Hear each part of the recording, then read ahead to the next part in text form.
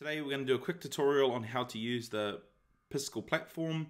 This is a free pixel art editor online. I highly recommend using your Chrome browser. It works really well there. We're just going to do a little tutorial. We're going to learn how to make a simple animal using the tools inside of Piskel. I highly recommend after this tutorial to practice making different things. I'm not going to show you how to animate this week, but if you want to play with it, go for it. There are lots and lots of tutorials on YouTube that you can use.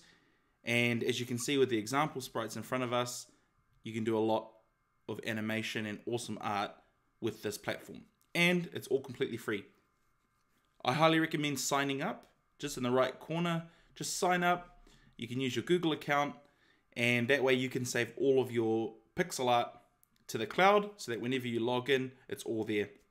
However, I will show you guys how to save your work to your computer so that you can upload it whenever you want to work on it again. Okay, let's get into it. To start creating your pixel art, we need to click on the Create Sprite button over here. This will open up the editor. Now, there are lots of different things to look at and lots of different tools, so let's go over them really quickly. On the left-hand side, at the top, we can create new frames. We use this to create more animations. We're not going to go into it today. However, I highly recommend you play with this tool, see what it's all about, find some tutorials. We're going to go over this next week, but I want you guys to practice with it and play with it if you want. Over here, in this bar here, we have a set of tools and our color selector. Here we can increase our brush size. As you can see here, we can draw different size lines. Now, if you want to undo something, just use Control Z to undo. If you're on a Mac, that would be Command Z. Now, our first tool here is a pen tool. That just allows us to draw simple lines, simple dots, and fill up pixels. Our other tool here, this is a really, really, really handy tool. This is a vertical mirror pen. And what this does, whatever I draw on this side of the screen will happen on the other side. This could be really cool when you're trying to find symmetry in your artwork. The other tool we have is our paint bucket. This lets us fill in a shape. Just fill in the whole area with color. The paint all pixels are the same color. If we have two different colors on our canvas here, we can fill in just a specific color without affecting any other colors. So in this case, it will fill the whole canvas because there are no colors. We have the erase tool, which lets us rub out any mistakes we make or any lines. We have the stroke tool, which allows us to draw straight lines. It also allows us to move it around by left clicking and dragging. We can create lines like so. The next tool we've got is the rectangle tool. We can draw a rectangle just like our vector art. If we press shift, it will keep us with a square. The next one we have is our circle tool. Now, because we're doing pixel art, you're not going to get a smooth circle like you would with vector art. Your circles would instead look something like this. The next one we have our move tool. This just allows us to move our pixel art around the canvas. We have the sh shape selector, which allows us to pick certain lines we can move them around if we press and hold shift, like so. Same with our rectangle and lasso selection, just allows us to pick an area. Pressing and holding shift, we can drag and cut different pieces off. The next one we have is our lighten, lighten tool. This allows us just to lighten and create some shading or highlights in our work. We also have the dithering tool. Now this tool is quite interesting it's a form of shading with pixel art. As you can see, it creates this checkered pattern. When used with different hues and saturations of color inside a pixel art, you can create shading effects. We also have a color picker, so if we want to select a specific color as well. Now, down here we have our color picker. You have two colors you can use. You can switch between them here. Now, to use the other color, you would use your right mouse button, this color down here, your secondary. If you want to use your primary color, you use your left mouse button. So for example, if I want to change my primary to red, I now have red with my left, uh, sorry, black with my left and red with my right. Cool, let's select everything and delete it all. Now on the right hand side we have the screen here which just shows us an overview of what we're doing on the canvas. We have our layers, just like Victor, we can add more layers that we can draw on. We have our transformation tools, which allow us to manipulate the image. We have a palette here, you can create your own custom colors that make it easy for you to pick from. Over here we have our tools, we can set up our preferences, we can resize an image. So if we want to make it bigger, let's say 100 pixels, we can. We're just gonna leave it at the default, 64 by 64. We also have save, we can save as a .piskel file, which means that we can upload it later on and work on it. We can give it a name, a description, so we know what we're creating. We can save it to the browser, but be careful because if you format or delete your history, it will also delete the save. You can also save online, but you need a Piskel account to do that, which I highly recommend. We're also going to look at exporting. Here we can export different types of formats, mostly PNG for us, but if you do an animation, you could export it as a GIF and then you can see your animation. Cool, let's get started. So I'm going to do another pig. In our last tutorial, we did a vector pig. This time we're going to do a pixel pig. So to start off, I need to pick my primary color. So I'm going to go with a pink, nice pink like that.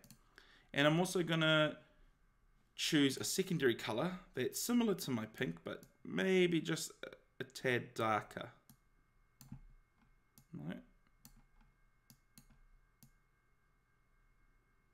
Perfect.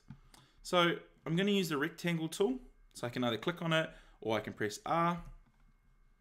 And I'm to hold shift. That way it maintains my ratio. So it's to be a square. And then I'm to drag it out to about here. Perfect. Now it's empty and I don't want it to be empty. So I can use the paint bucket tool here, B, to fill in all this empty space. Because these lines are here, it'll only fill inside of that space, like so. Now, it's a little bit crooked and I want it in the middle of my canvas, so I can actually click this over here in the far right, align image to center. Perfect. Now, I want to draw some ears. So to do that, I'm going to use the vertical mirror pen and I'm going to be using my secondary color. So I'm going to use my right mouse button. What this will do is it'll draw my ears at the same time. Look at that. Perfect. Fill it in. Awesome. I like that. Now, I might just add a different color to the inside of the ear so we can tell there's some separation. So to do that, I'm just going to select the secondary color again, or either either, and I'm just going to make it a little bit different. That way it stands out.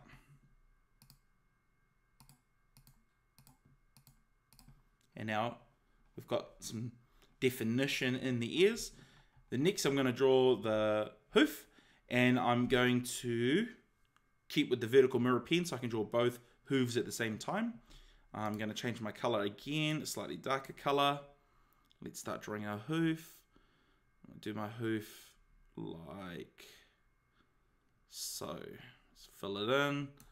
Now, I want to create a little gap here. So I'm going to go to the er, eraser tool. And I'm just going to take a little bit out there. Now I've got my hoof. Perfect. Okay, so now we want to draw our, our eyes, our nose, and our nostrils. So I'm going to start with a circle tool. And I'm going to stay with my primary color just to get, give it some separation from this light pink body. And I'm just going to drag out a nose as straight as possible. I think that's perfect. I'm going to take the paint bucket tool and I'm going to fill in the space. Remember, it'll fill in any shape if there's a border. Perfect. Now I'm going to take the circle tool again and I'm going to draw two nose, no, nose holes here. Now I'm going to shift my primary color again something a bit darker. And I'm just, actually we can just use our pen tool or our vertical mirror tool for this. I'm gonna draw two lines like that. Look, that's perfect. Next, I'm to take my circle tool again, and we're to draw the eyes.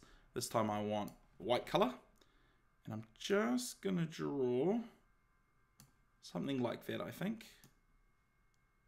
Perfect. I matched it, we'll fill it in.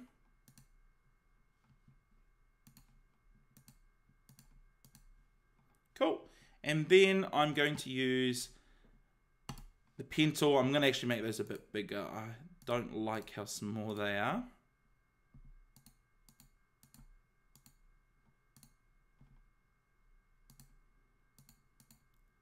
This is a cool thing about pixel art is if we make any mistakes, we can just fill them in like so. Perfect. Now I'm going to change the color to black so we can draw the pupil. I'm just going to draw a nice big pupil. Like so. Now you may notice with pixel art, you're coloring in these squares, right? Each pixel. And you can tell that it creates like a low definition art, right? That's part of the style, the retro style. But it's really fun and it's really easy to use. Each click you're adding to your art piece. Simplicity is the key when it comes to pixel art. Simple shapes, learning how to be really effective with color and the limited amount of definition that you can add to your art really makes pixel art challenging but rewarding. And often you can create really interesting pieces with barely any detail. You leave it up to the imagination. We're going to add more tutorials in the future that help you with your theory around pixel art and vector art. So don't worry about it too much. I just want you guys to have a tutu i just want you guys to have a play now that we've created this, I'm actually going to change it a little bit and I'm going to create some eyebrows. So I'm going to go back. I'm going to use the color picker tool and I'm going to pick this body color here. And then I'm going to shift it slightly to make it a bit lighter. Get the vertical mirror tool and I'm just going to draw in some eyebrows. Perfect. Now, I've got this art piece. I want to export it so that I can use it in my game. So to do that, all we need to do is go to the right hand side of the screen, go to export, PNG, and we want to download it as a sprite sheet file export. Do is click on the download button and it will download your art piece to your computer.